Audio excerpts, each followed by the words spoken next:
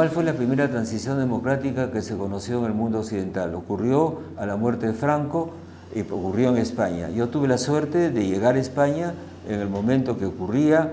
El rey Juan Carlos II reemplazaba a Franco. Franco había, hecho, había tomado una serie de medidas. El general Franco, dictador, que estuvo 40 años en el poder, era en el fondo del alma un monárquico y había preparado la transición hacia la monarquía, cosa que tuvo España anteriormente. Preparar quiere decir que había eh, dado una ley aprobada por las instituciones del franquismo para que España fuera considerada un reino y él un regente mientras se formaba Juan Carlos II y eh, Juan Carlos I.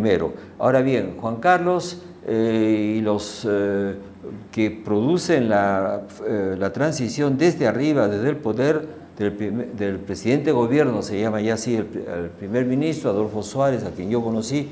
Yo trabajaba en un periódico de oposición a Franco, un momento en vida de Franco, y después un periódico La Transición. Eh, ¿La transición qué es? Es una salida de una dictadura hacia una democracia, es una salida de una economía cerrada a una economía abierta, es salida de un sistema de partido único, como la Unión Soviética, a la pluralidad de partidos. Y se hace sobre un principio, no, los que se van no pueden seguir mandando y los que llegan no pueden tomar cuenta de todo lo que se hizo antes. Es un pacto, es un pacto de no agresión. Entonces los franquistas se reciclaron, los comunistas se reciclaron, los antiguos enemigos se volvieron rivales, que no es lo mismo, y entraron a la democracia con partidos políticos distintos. La transición fue un ejemplo de evitar un conflicto de nuevo una guerra civil, el mundo se quedó asombrado, esperaban el retorno a la república o otra dictadura, la continuó la Rusia de Gorbachev, fue también una transición y la hicieron los argentinos, los chilenos y nosotros los peruanos después de Velasco y después del primer gobierno de, de, de Fujimori. Ahora bien, ahora no hemos terminado la transición porque seguimos tomando cuentas hacia atrás.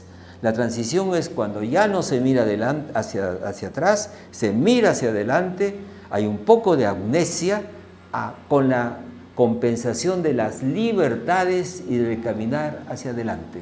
O sea, divisiones sí, odios no. No es fácil una transición. Para mí, esta es incompleta, porque demasiado, demasiado hígado todavía y tenemos un ojo acá atrás mirando, los ojos por delante ciegos cuando las transiciones tienen que hacerse a tiempo, en un momento determinado, con pactos sociales en los que no se, camina hacia adelante. Entonces, eso es una transición.